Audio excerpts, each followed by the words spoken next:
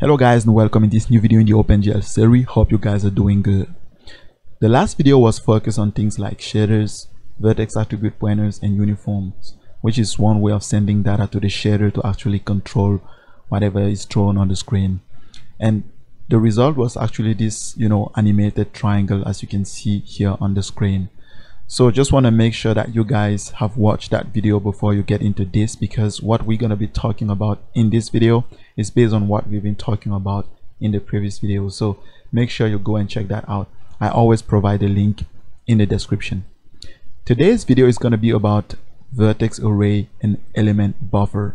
So it's just a way in OpenGL to actually organize your vertices and even draw things on the screen but before we get started just want to invite you guys to hit that subscribe button like this video and share with your friends. I just want to give a small recap of what we've been doing till here. So we have this vertex data which is defined by the position and the color of the vertex. So each line here is a vertex which is defined by the position and the color. Down here we allocate the memory on the gpu where we actually store our vertices our vertex data and we also define how the shaders are to use this data to actually draw our triangle. And down here we simply call gl draw by binding the vertex buffer and then we draw our triangle on the screen using this program right here. We also did more by sending data to the gpu to actually animate our triangle. Just wanted to show this because we're gonna be now learning how we can draw this triangle using another type of buffer which is called element buffer. So let's do that. So as you can see here i just wanted to remove some noise so that this video does not get to you know complicated because because we have a lot of things to handle. So i kind of remove the colors of each vertex. We don't need that to actually do what we're going to be doing. So we're just sticking with the position. So we have our vertex data here. And you can see i created another array called element so you can call this index because we simply specifying each index of this object here in this array.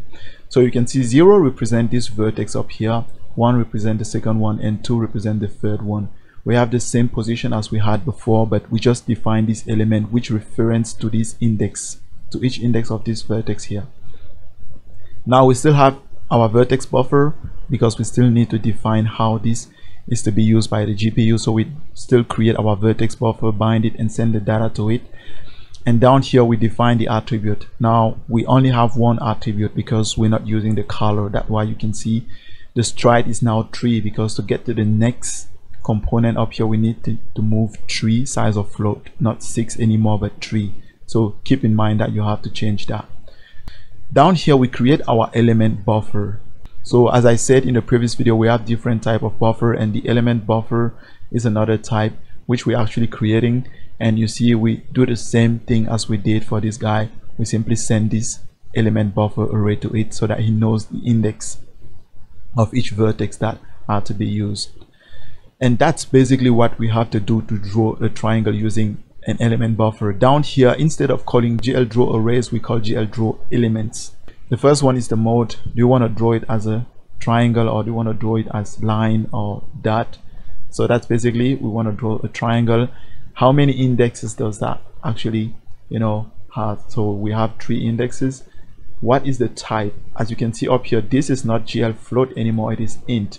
So if you use another type here this won't work at all. So you want to make sure you put the right type gl unsigned int. You want to define that as unsigned int if you even use int or float it won't work. So you make sure you put that.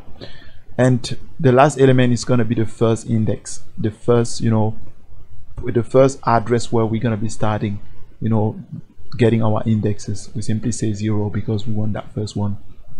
Basically we unbind our array. And if we go up and run this you'll see we'll get the same result now one thing I didn't mention is we now only send our color once. We don't send it each frame because you remember we didn't want to have too, too much noises because of the color. We only send it outside of our loop. Keep in mind that you can also do that. If you send it the color will be the same because remember OpenGL is a state machine. Once you've set the value of this uniform you will keep that value every time. That's why we can do this outside of the loop so changing the value of this vertex right here on the x-axis to 0.5 will lead us to have a different triangle on the screen, which is something that we expect. now as you can see this is basically how we can draw our rectangle we just have to draw another triangle here just like this and we get our rectangle this means we need at least six vertices to draw a rectangle or you know a square box whatever. We need at least six because we can only draw you know triangle shapes. We need to draw another triangle just like here which has the same vertex at this position and this. This one is just going to be flipped over and we have our triangle. Now and you see the problem is using six vertices is a lot of memory. Element buffer actually simplify the job for us in the sense that we can basically add only one vertex which which is this one because you can see this second triangle will differ from the first one just by this vertex up here. This one will just be flipped over. So instead of using six vertices which is memory you know inefficient we will use our we'll make use of our element buffer and just add one vertex. And you can see this vertex up here if this is the center of the screen it is at minus 0.5 on the x-axis and 0.5 on the y-axis so we want to add that here. So just add it here on the y-axis it is positive. Now if I want to draw the square all I need to do is to define a second triangle right here. The first one use those three indexes the 0 the 1 and the third one which is this one. And this one will simply start 1 2 and 3 now the last thing you need to make sure before you you know render this on the screen is to make sure you put this to six element because we don't only have three now we have six element. So if I just go out and run this let me close this and run it again we basically get our rectangle on the screen. And then you get your rectangle. So that's basically how you can use element buffer to actually draw diff different type of shapes. That's basically the idea of this video.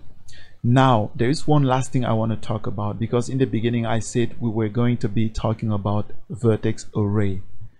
Now as you can see right here one thing is quite obvious. If I want to create another triangle or another rectangle then I need to redefine another vertex buffer or another element buffer every time which is something we don't want to do. I need to define it bind it you know do all the kind of crazy things. That will end up you know adding our code count. That will also use a lot of memory and we don't want that. This is actually where the vertex array comes in the game now the vertex array it's just like a container which contains all the information about a vertex buffer. And this is actually powerful because every time I'll have to use this buffer up here I can simply bind my vertex array and he will get this attribute for me and you know help me actually draw everything I want on the screen. And I could even decide to use this data with another purpose just by defining different attribute pointers. So let's actually put that in our code. So to put this in perspective I want to just go and create a vertex array which is not so different from creating uh, all these things. So I want to say gl in vao say gl gen vertex arrays. We want to generate only one and we want to make sure we put this guy so that the index will be stored inside of that now I want to bind it because we're going to work on that right now.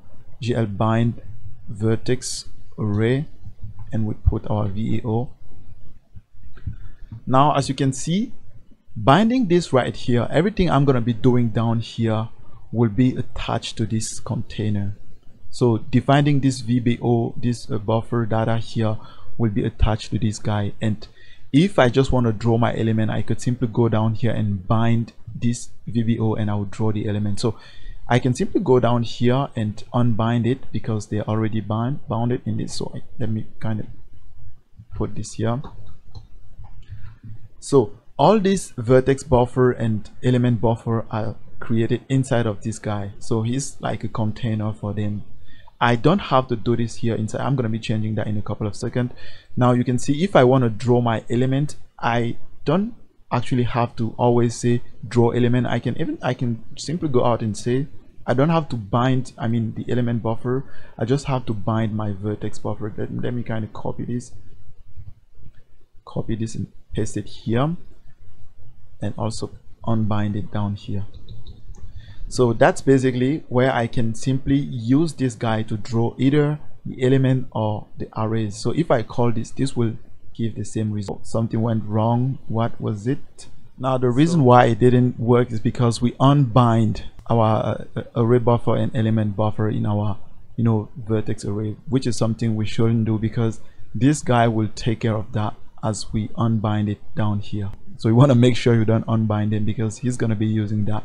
So if I go and just run this you see I'll get my rectangle. Now there is one thing I want to actually show you because this is quite important. Uh, you don't have to put to create to generate this buffer inside this buffer here inside of this VAO you can even do this outside. So I can do this outside. Just want to show you how important this is. Here also do this outside here you want to make sure you unbind them because you're defining because we're actually defining them here. So you want to unbind them to make sure you release the memory after you've set all the attribute and all kind of thing you want to do. You can see I can define my VAO here.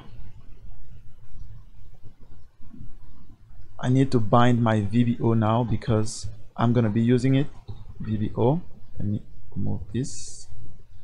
And also this guy it'll be like this you can see here I just define this data which is defined by these vertices up here and I just define this element buffer and I can simply go and define this VAO here which define an object and I can define how this VAO is going to be using the VBO up here. So I could have said you don't want to use the three first element as the position. You might want to use the two one, the two first elements, just like that. So and if I want to create another object, I would do the same thing, just redefining this here. Just binding this, I'll be able to actually change the attribute. You see, that's why we actually need this VAO. It's really important.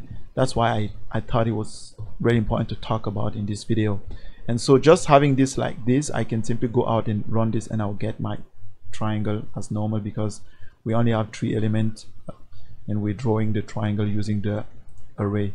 So you see the use of VAOs you will get more you know more detail in this as we start loading elements loading uh, objects.